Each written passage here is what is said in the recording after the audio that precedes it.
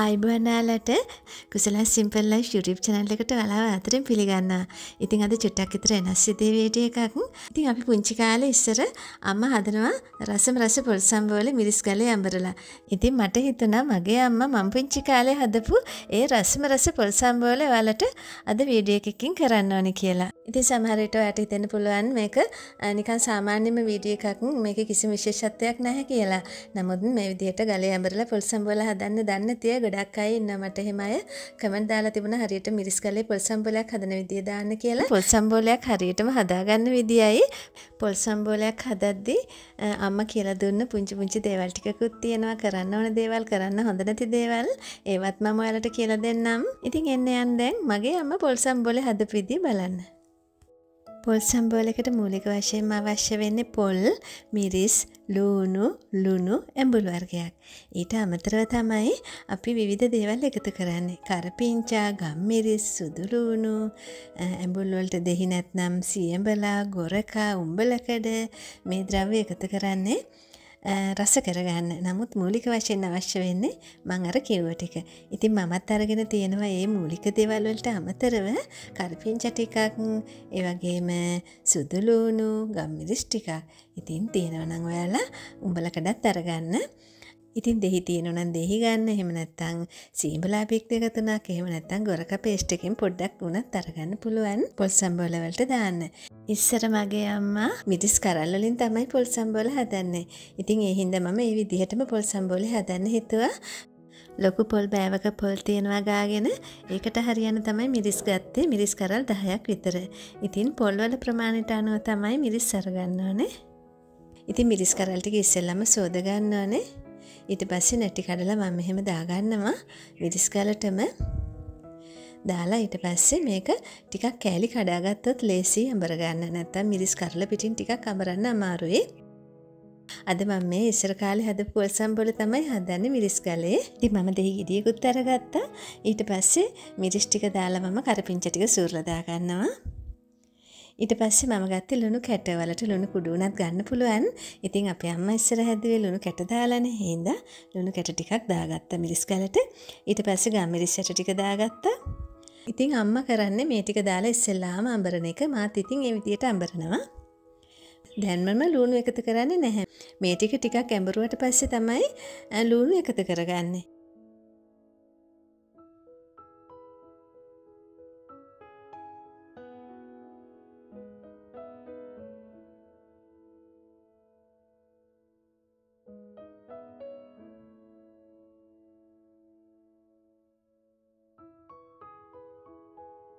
ඊට පස්සේ මේ ගානට ඇඹරුවට පස්සේ තමයි මම ලුණු ටික එකතු කරන්නේ. ලුණුයි උඹලකඩ ටිකකුයි.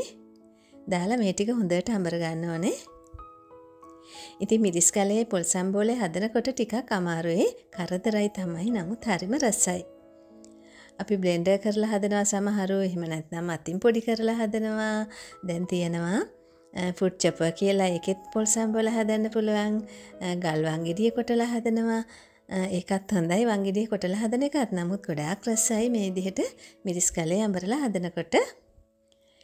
ඉතින් පුංචි අය මේක බලනවා නම් ඉතින් ඔයාලා මිරිස් අඹරන්න හදන්න එපා එකපාරටම අම්මලගෙන් ඉල්ලගෙන මිරිස් ගලේ ඔයාලගේ අත් දැවිල්ල හැදෙයි. මොකද පුරුදු නැතුව මිරිස් අඹරද්දි අත් දැවිල්ල හැදෙනවා.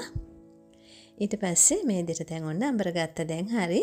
දැන් ඉතින් පොල් ටික දාලා හොඳට තලා ගන්නයි තියෙන්නේ අඹර ගන්නයි තියෙන්නේ.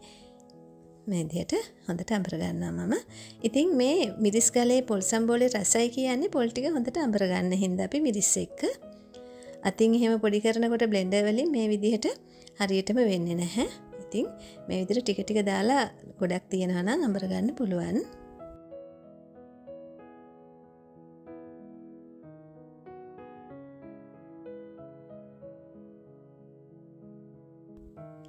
දැන් හරි පොල් ටිකත් අඹර ගත්තා.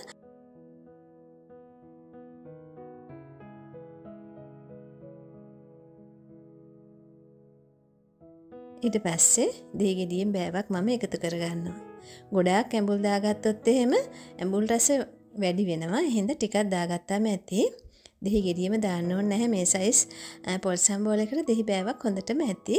සම්බෝලකට කවදාවත් දෙහි එකතු කරන්න හොඳ නැහැ ගලේ තියෙද්දිම මිරිස් ගලේ තියෙද්දිම මිරිස් ගලෙන් අයින් කරලා තමයි දෙහි එකතු කරන්න. ඉතින් ඒකත් මගේ අම්මගේ උපදෙසක්. ඉතින් මගේ අම්ම දෙහිගිඩිය මිරිකන්නේ මේ විදිහට. වල හේතුව දන්නවද? ඉතින් මේ පොල් සම්බෝලට මේ දෙහි ඇට වැටුනොත් එහෙම තිත්ත රස එනවා. ඉතින් ඒක දන්නේම නැතුව අපිට හැපෙනවනේ දෙහි ඇට හරිම තිත්තයි. ඉතින් මේ විදිහට මිරිකපුහාම දෙහි යුෂ ටික විතරක් යටට යනවා ඇට ඉතුරු වෙනවා ඇඟිලි අතර.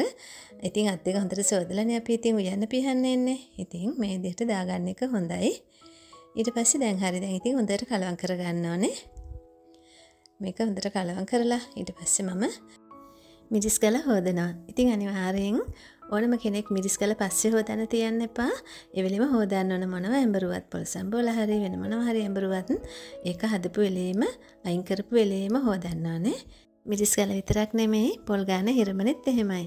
ඉතින් දැන් ඔන්න කන්න පුළුවන් රසටම බත්. උණු බත් එක්ක පොල් සම්බෝල හරිම රසයි කියලා කවුරුත් දන්නානේ. ඉතින් දිගින් දිගටම රැඳිලා ඉන්න මාත් එක්ක මගේ channel එකත් එක්ක අලුත් එක්ක ඉන්න subscribe එකක් දාලා මාත් එක්ක එකතු වෙන්න ඉදිරියට ගොඩාක් වටින දේවල් මම අරන් එන්න බලාපොරොත්තු ඉන්නවා. ඉතින් නැවතත් මේ වගේ ලස්සන වීඩියෝ එකකින් හමු වෙමු. ගිහින් එන්නම් සුබ දවසක් නිරෝගී දිවියක් කාලා සියලුම දෙනාට.